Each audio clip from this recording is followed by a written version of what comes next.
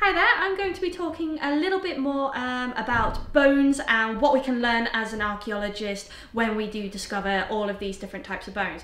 I'm not going to be focusing on the human bones, in fact we're going to be looking at animal bones instead because we find a huge amount of them and they still give us lots and lots and lots of different pieces of information and what we can find out from different times.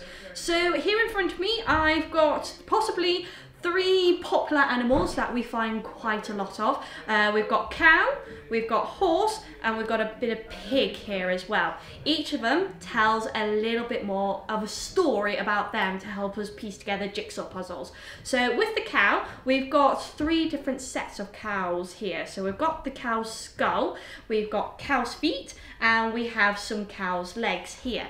The cow's skull this one here, um, can tell it's not in very good condition because as an archaeologist you can find it um, in fairly good condition and then sometimes we can come along and we do a tiny bit of damage when we are excavating it. However, what we can find are butcher's marks right here. So you can see that there is a knife mark here. So this shows us that this animal has been used uh, to be essentially eaten and then also to get the leather from it and uh, different food items like that but it has also got the top of its head cut away as well, quite roughly. Uh, this is where the horns would have been. Horns for the Vikings and uh, throughout history have been used for very different things such as window panes, spoons, uh, cups, and blowing horns. Uh, and you can see these marks on the cow to show that they have been cut off because they want the horns. So here I've got two cow's feet, slightly different in size and shape. This one is a nice healthy one. It's got no markings on it at all.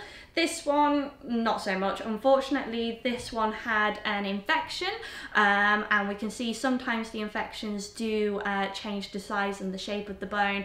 Uh, but with this, it's enlarged it just a little bit. So if we pop them on top of each other you can see that that one is bigger than this one um, but um, it would have also shown that the cow would have been in a little bit of pain so limping and possibly would have been the reason why it may have been killed but then we can see how we as humans have changed uh, cows to adapt to our needs. So here are some cow's legs. Uh, this one is approximately a thousand years old. This one is modern, so you can see that over the years, over the thousand years, we have shaped it because we have bred them, we've given them different food, meaning that they have become larger and produce hopefully more meat. So we can see that evidence on the cow when we are excavating.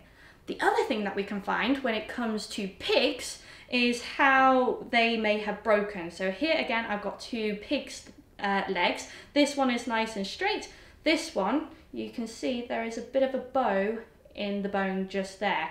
So this shows us that the pig has had its leg broken, but then over time it has healed, but it's just healed in a slightly awkward way. So it would have, um, may or may not have had a bit of a limp.